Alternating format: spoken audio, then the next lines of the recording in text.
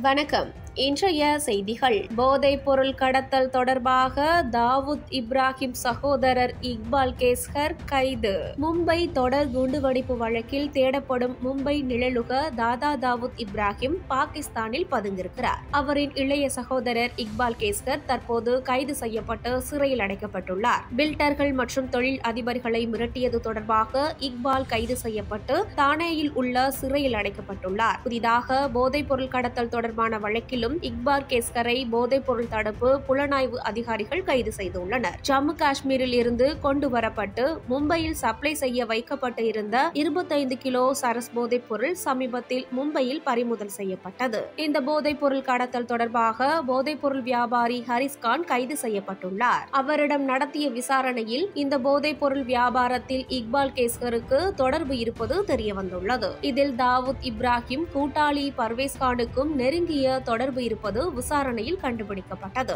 அந்தேரி பாந்த்ரா லோகண்ட்வாலா போன்ற பகுதியில் போதைப் பொருள் தடுப்பு பிரிவு அதிகாரிகள் ரைட் நடத்தி ஹரிஸ்கானை கைது செய்தனர். தற்போது ஹரிஸ்கான் மற்றும் இக்பாலை நேரில் வைத்து போதைப் பொருள் கடத்தல் தொடர்பாகவும் எங்கெல்லாம் விற்பனை செய்யப்படுகிறது என்பது குறித்து விசாரித்து வருகின்றனர். போதைப் பொருள் விற்பனை மூலம் கிடைக்கும் வருவாய் தீவிரவாத செயல்களுக்கு பயன்படுத்தப்படுவதாக குற்றச்சாட்டு எழுந்துள்ளது. அது குறித்தும் விசாரிக்கப்பட இருக்கிறது. இக்பாலும் பாகிஸ்தானில் தனது சகோதரன் தாவூத் இப்ராஹிம் உடன் தான் தங்கியிருந்தார். அவன் மீது பெரிய அளவில் எந்தவிதமான குற்றச்சாட்டும் இல்லாமல் இருந்தது. இதனால் இக்பால் மும்பையில் சுதந்திரமாக இருந்தார். ஆனால் பில்டர்களை மிரட்டியதாக இரண்டாயிரத்து பதினெட்டாம் ஆண்டு கைது செய்யப்பட்டுள்ளார்.